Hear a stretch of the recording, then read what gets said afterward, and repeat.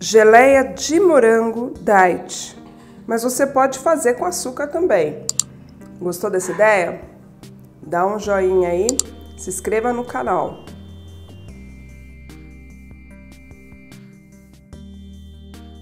Para essa receita vamos precisar de 500 gramas de morangos lavados, cortados em rodela, já tá aqui na panela.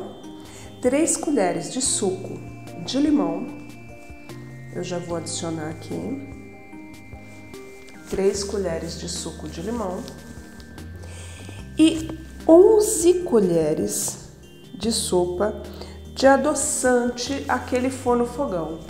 Agora é o seguinte, se você achou muito, você pode colocar conforme o seu paladar, tá bom? Pode por menos. 11 colheres de adoçante, forno fogão. Eu vou deixar isso aqui parado por uns minutos. Ele vai tirar, extrair aqui, ó, o caldo do, do limão com o morango, tá? Depois eu vou levar ao fogo.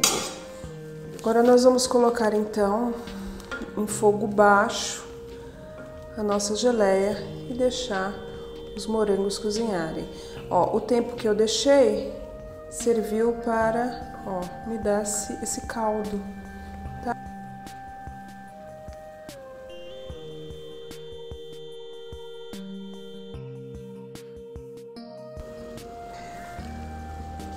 Se você não quiser com adoçante, você fala, ah, eu não quero adoçante, eu quero o açúcar mesmo, não tenho problema com peso. É só você colocar o açúcar e fazer do mesmo jeito.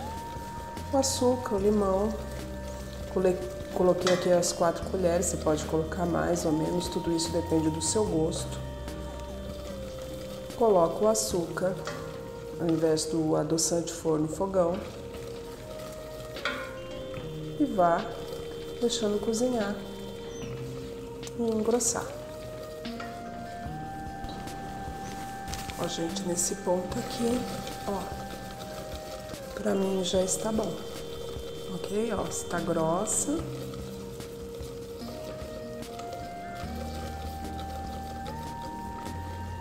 Tá vendo? Agora vamos deixar a geleia esfriar.